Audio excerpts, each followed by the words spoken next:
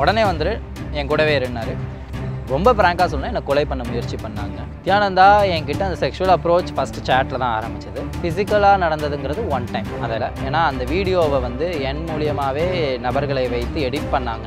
இதை வந்து ரஞ்சிதாவை எடுத்துகிட்டு இந்த வீடியோ ஒன்று கிரியேட் பண்ணணும் அப்படின்னாங்க. அவரால் யாரோடையும் உடல் உறவு வைத்து கொள்ள முடியும்.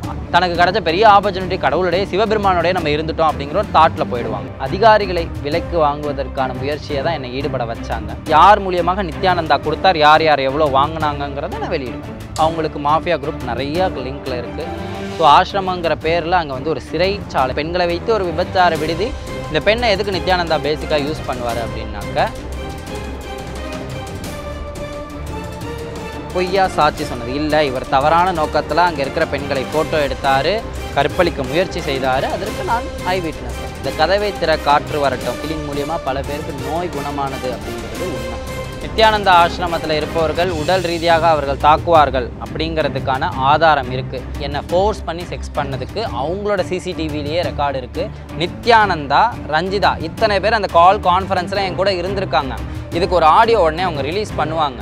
டெக்னிக்கலாக அதை வந்து பொய்ன்னு நிரூபிக்கிறதுக்கு ஆன பலம் இருக்குது பண பலம் இருக்குது அரசியல் பலம் இருக்குது நித்யானந்தாவா கைது பண்ண வைப்பேன் உங்களால் ப்ரோமோ கொடுக்க முடியுமா? ஏன்னா ஏன்னா ப்ரோமோ ஷீட் யாராவது சைன் பண்ண முடியுமா? போலீஸாலையும் முடியாது. முதல் முறையாக உங்ககிட்ட மட்டும்தான் சொல்லியிருக்கு. நித்யானந்தா மட்டும் சிசிடிவி வச்சுட்டு இல்லைங்க. நாங்களும் எல்லாருமே கம்பல்சரி கால் ரெக்கார்டர் எல்லாமே வச்சுப்போம். இந்துக்களோட சப்போர்ட்டை வாங்குறதுக்காக பண்ண ஒரு போர்ஜரி தான். இந்த இரும்பு பெட்டி பெருசு பெருசாக அந்த ட்ரங்க் எனக்கு வச்சுருப்பாங்க. பேசுகிறதே பேஸ் ஆஃப் செக்ஸ் தான். இப்போ முக்கியமான அட்மினிஸ்ட்ரேஷனில் இருக்கிறவங்கெல்லாம் பிராமின்ஸ். ஒரு ஆண் ஆண் கூடயும் இருக்கணும் பெண் கூடயும் இருக்கணும். அப்போ தான் நீ ஒரு சிறந்த ஆணாக இருக்க முடியும். என் கூட ரா செக்ஸ் பண்ணு அப்படின்னு சொல்லியிருக்காரு. அதாவது நான் நியரில் இருந்திருக்க சமயத்தில் இதுக்கு மேலே என்னால் சொல்ல முடியாது.